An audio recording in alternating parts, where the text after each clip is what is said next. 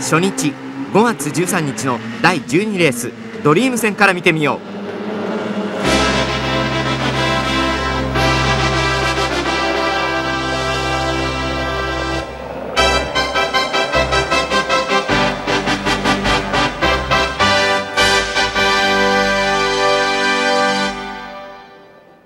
進入コースは内側から1番、2番、5番、3番、4番、6番の並びです。スタート3秒前。2、1、スタート。前提スタートしました。アウト2手、4番、6番が好スタート。1周1マーク、一気にまくりの体勢は6番の服部。その内側からは1番、4番が旋回します。スタートは前提正常前提正常なスタートをしています。直線コースを大きく抜け出しました。6番の服部幸男すでに後方に 20m ほどと差をつけています。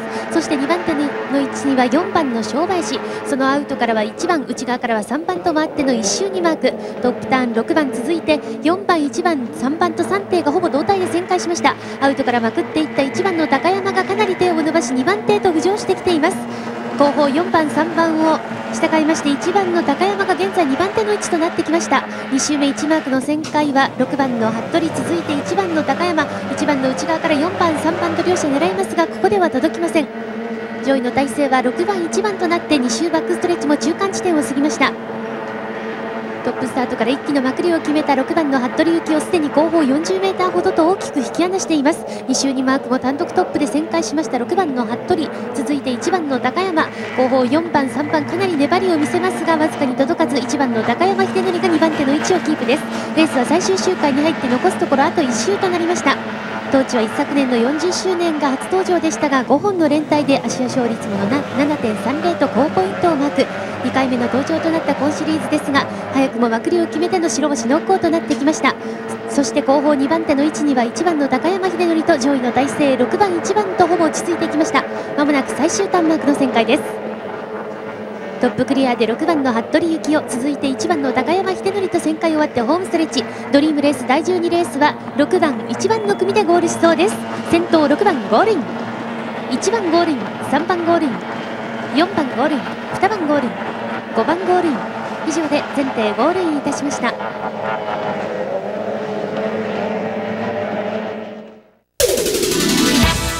日目5月17日の第10レース11レース12レース。準優勝戦3レースを見てみよう。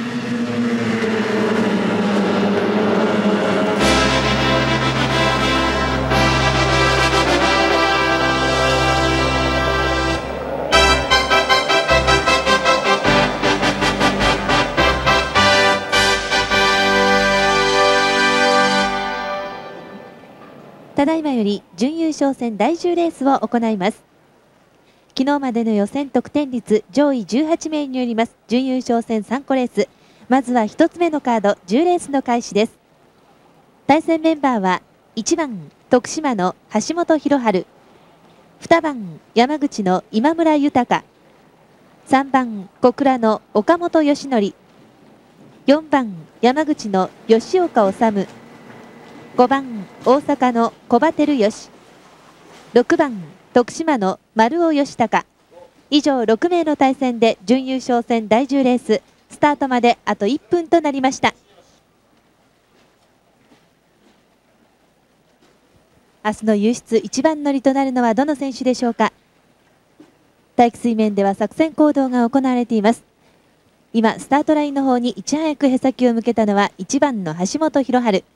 昨日までの予選得点率第3位でこのレースは高枠1号艇を手にしています。1番の橋本。枠番有利イン1コースに回りました。そして隣にコースを伺うのは3番の岡本。センター3コースには2番の今村が回るようです。今日前半の7レースコンマ04のコースタートからまくりを決めています。2番の今村センター3コース。そして4コースに回ったのは5番の小葉アウト5コースが6番の丸尾そして再アウト6コース4番の吉岡です。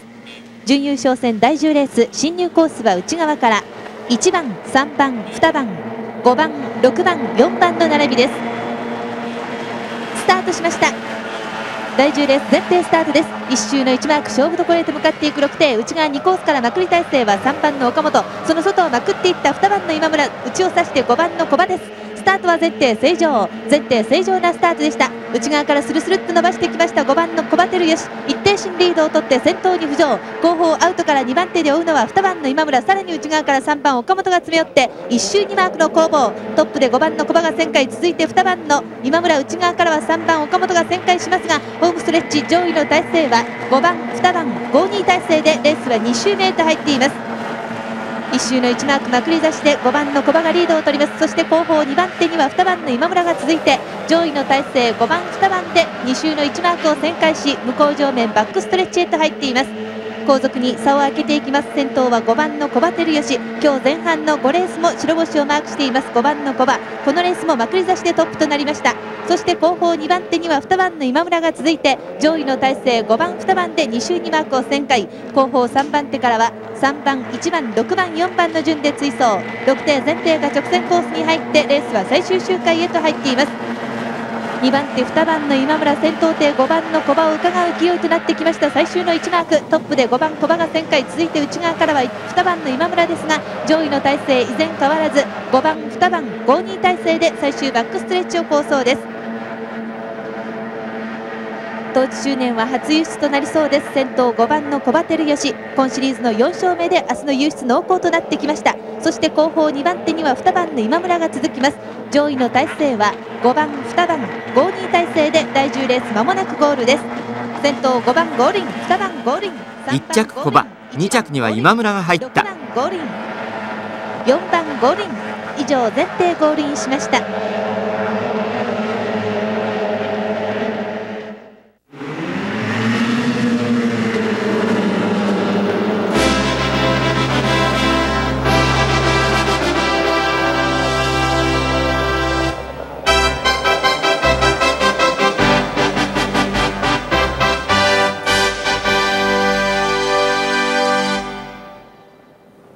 戦第11レースを行います。準優勝戦2つ目のカード第11レースです。メンバーは1番佐賀の山口義文。2番静岡の服部幸男3番神奈川の広田耕作。4番岡山の難波雄三。5番福岡の松田正文。6番佐賀の小西元親。以上6名の対戦です。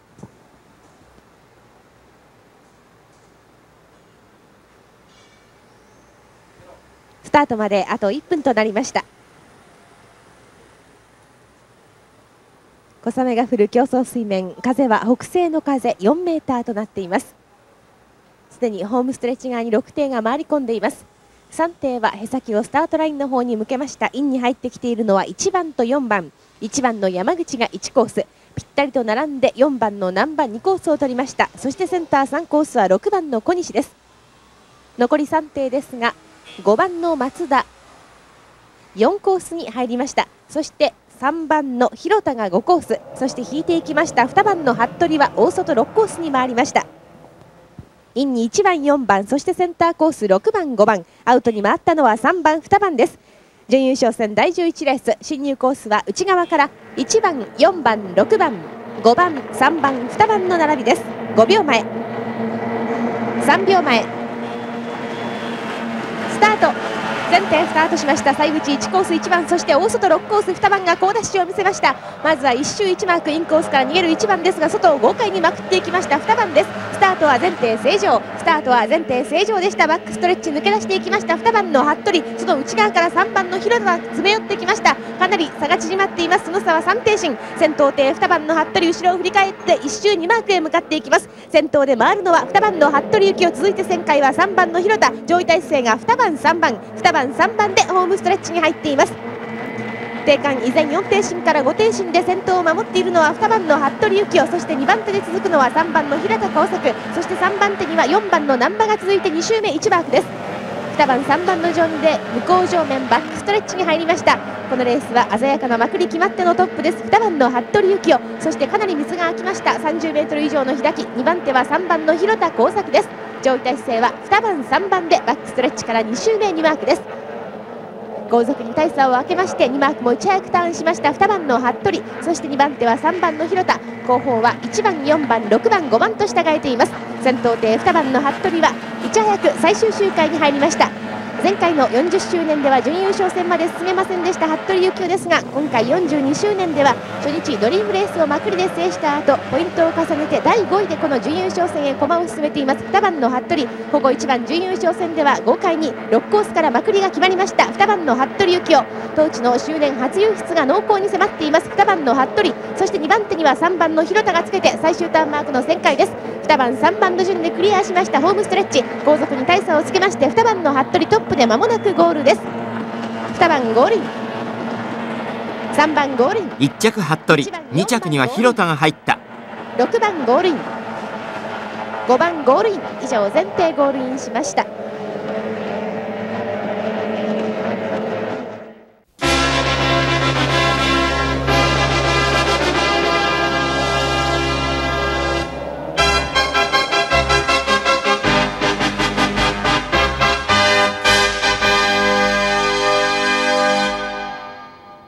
開設42周年記念特別競争シリーズ5日目の最終レースです。対戦メンバーは1番宮崎の高山秀則。2番山口の福永達夫。3番八幡の木下茂美4番粕谷の原田純一。5番宗像の倉重弘明。6番加穂の木村昌司。以上6名の対戦です。スタートまであと1分となりました。すでに準優勝戦2個レースを終えまして古馬今村そして服部に広田の4人が明日の優勝戦出場の切符を手に入れています。残るのはあと2つ。果たしてこの準優勝戦第12レース6名の中からどの選手が抜け出してくるでしょうか？ホームストレッチ側インの1コースには5番の倉重が入っています。そして2コース2番の福永が入りました。インを抑えたのは5番と2番です。そしてセンター3コースには1番の高山。4コースには4番の原田です。そして3番の木下が5コースに回りました。大外6コースからの進入は6番の木村。12レースは4対2の進入となりました。進入コース内側から5番、2番、1番、4番、3番、6番の並びです。スタートまであと5秒。3秒前。スタート。前提スタートしました。左右内1コースから伸ばしていっているのは5番ですがセンター3コースからは1番もまくっていきます。まず1周1マーク。まくって1番がトップで旋回しました。スタートは前提正常。スタートは前提正常です。バックストレッチ一気に抜け出しました。1番の高山秀則。そして後方ですが4艇がラップ状態となっています。左右内から2番6番そしてアウトに5番と3番です。ここで抜け出してきたのは6番の木村ですがバックストレッチから2マークの攻防はまず1番ついて6番が詰まった間に内側さして2番5番です。ここで5番が好旋回見せました。さらに5番の内側からは3番が旋回して5番と3番は2番手争いに持ち込みそうです。5番の倉重が一歩リードしていますが内側からは3番の木下詰め寄って2周目1マーク先頭を抜け出しているのは1番の高山。そして2番手は5番がここで大きく詰まりました。3番も詰まってその間内側差したのは2番と6番。ここで2番の福永達夫が上がってきました。上位体制は1番2番となっています。バックストレッチ先頭艇は大きく抜け出した1番の高山秀則。そして2番手は2周目1マークで2番の福永が上がってきました。2マークの旋回1番2番で2マークの旋回を終えています。後続を大きく引き離している1番そして2番手2番今度は2番の内側からは3番手で6番の木村が追っています。かなり差を縮めてきました。6番の木村ですが2番手は2番の福永が守って最終周回です。このレース今シリーズ好調の1番の高山秀則が先頭に立ちました。大きくリードを取っている。1番そして2番手は2番です。もう一度詰め寄ってくるのは6番の木村ですが2番の福永が2番手。上位体制は1番2番。1番2番で最終周回バックストレッチを構想です。2番の内側からもう一度6番の木村詰め寄って最終ターンマークを迎えました。先頭艇1番の高山秀則そして2番手は2番の福永もう一度詰め寄った6番ですが2番が2番手を守って上位体制1番2番のまままもなくゴール。1番ゴールイン。番6番1着高山。2着には福永が入った。4番ゴールイン。3番ゴールイン。以上前提ゴールインしました。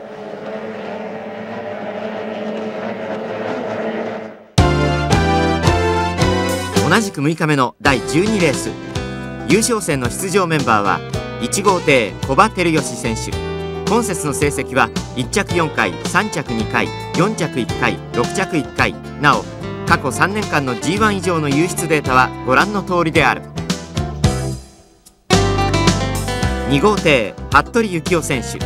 今節の成績は1着3回2着2回4着1回6着2回。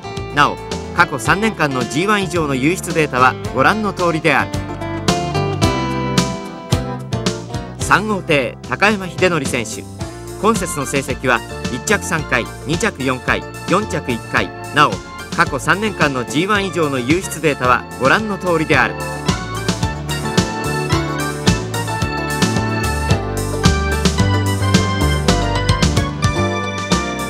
4号艇広田耕作選手。今節の成績は1着3回2着3回4着1回6着1回。なお過去3年間の G1 以上の輸出データはご覧の通りである。5号艇今村豊選手。今節の成績は1着3回2着1回3着3回4着1回。なお過去3年間の G1 以上の輸出データはご覧の通りである。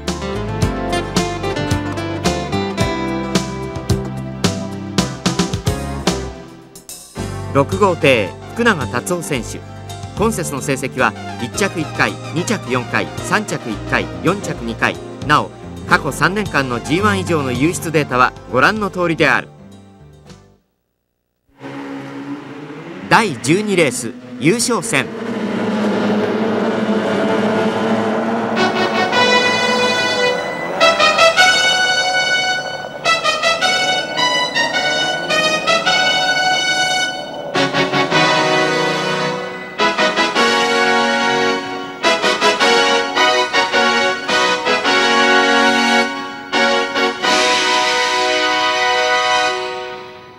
お待たせいたしました。ただいまより優勝戦第12レースを行います。5月13日に幕を開けました。開設42周年記念特別競争全日本王座決定戦。いよいよ頂点を競います。優勝戦です。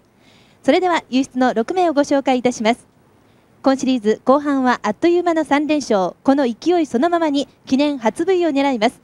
1号艇大阪の小場照義。初日のドリームレースはあっさりと制したドリーム男。始めよければ終わりよし。終わりよければすべてよし。2番静岡の服部幸男。圧倒的な走りで忍者高山が芦屋周年 V2 へ王手。3号艇宮崎の高山秀則。ここ芦屋は実に8年3ヶ月ぶり。しかしそのブランクは全く感じはさせません。G1 初制覇に向け準備 OK4 号艇神奈川の広田耕作。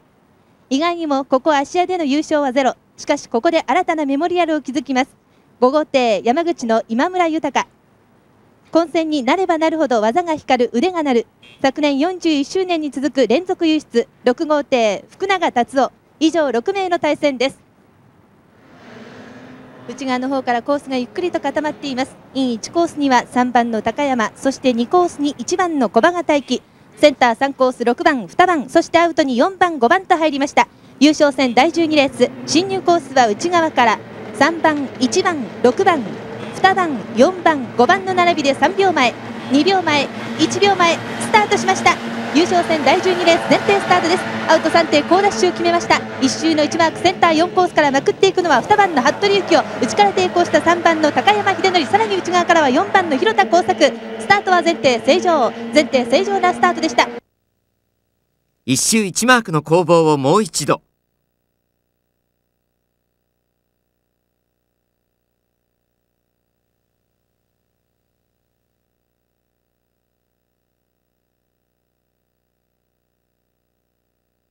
バックストレッチ先頭争いとなっています。内に4番の広田そしてアウトには3番の高山。4番3番の先頭争いの内側からは6番の福永。じりじりと伸ばしていきます。1周2マークの攻防はトップで4番広田が旋回続いて6番内を指したのは3番。ホームストレッチに入ってリードを取りました。3番の高山秀則。一定進二定進とリードを取って先頭は3番の高山。そして内側にかわしてきました2番手4番の広田。上位の体勢現在3番4番でレースは2周目へと入っています。2周1マークトップで3番高山が旋回続いて4番の広田と回っています。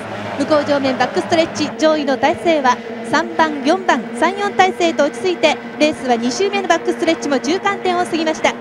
2番手4番の広田差を縮めにかかりますが現在先頭は3番の高山。そして2番手4番の広田で2周にマークを今クリアホームストレッチ側へと回ってきました。上位の体勢は変わっていません。先頭は3番の高山秀則。忍者のさばきで先頭構想となりました3番の高山そして2番手には4番の広田が続きます。今シリーズは圧倒的な走りを披露しました3番の高山秀則。初日から連帯ラッシュの高山が昨日の準優勝戦もあっさりまくりきって優出権を手にしています。ここアシアプールは九州ダービーを含む6連続での輸出。走り慣れたプールで3番高山がアシア V2 ということになりそうです。後方2番手4番の広田を従えてまもなく最終ターンマークです。今年のアジアチャンプはどうやら3号艇高山秀則となりそう最終ターンマークを旋回しました先頭3番そして2番手には4番で優勝。戦まもなくゴールです先頭3番ゴールイン。優勝。4番ゴールイン。高山秀則選手。1コースから侵入。見事に抜きが決まりそのまま逃げ切り優勝。芦屋競争場。開設42周年記念特別競争は高山秀則選手の優勝で幕を閉じた。